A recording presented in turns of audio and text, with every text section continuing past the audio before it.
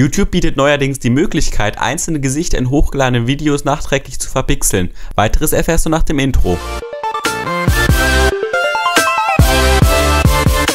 YouTuber können seit kurzem Gesichter und anderes in ihren eigenen Videos unkenntlich machen. Ich muss zugeben, diese Funktion gibt es bereits seit fast einem Monat, sie ist also nicht unbedingt neu.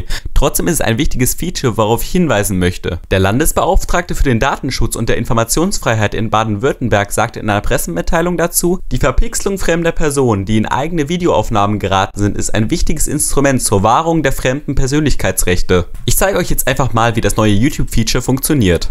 Wir öffnen die Videobearbeitungsfunktion von YouTube, drücken auf Videos verbessern und dann Bereiche unkenntlich machen. Jetzt werden mir automatisch alle Gesichter des Videos angezeigt. Ich wähle das Gesicht aus, das ich verpixeln möchte. Und so sieht's nach der Bearbeitung aus. Wie findet ihr das neue YouTube-Feature? Drücke rechts oben auf das i und stimmt darüber ab. Ich hoffe, euch hat das Video gefallen. Über ein Feedback in Form eines Likes oder Kommentars würde ich mich sehr freuen. Ich wünsche euch noch einen schönen Tag.